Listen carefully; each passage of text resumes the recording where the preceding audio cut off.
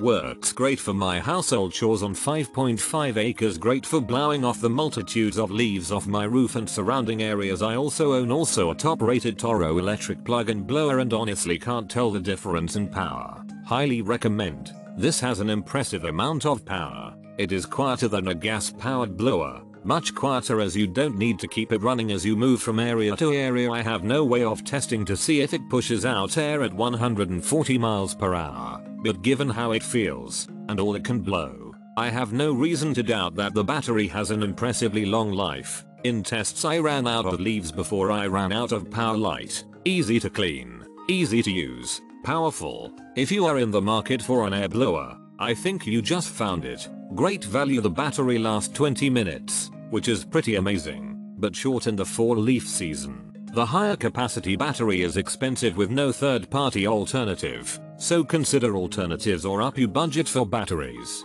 The portable batteries make this blower very convenient for homeowners who don't want to mess with gas or hard starts the 140 miles per hour power rivals that of a gas blower. Needed a cheap saw for a small job. It worked well and cut much better than I thought it would. This is a solidly made leaf blower. Easy to assemble right out of the box. Charge quickly. Very powerful. Lightweight and easy to hold and use. Used straight for about an hour without losing glass power. Easy to turn on and off. Easy power button to use. Easy to control. Would highly recommend.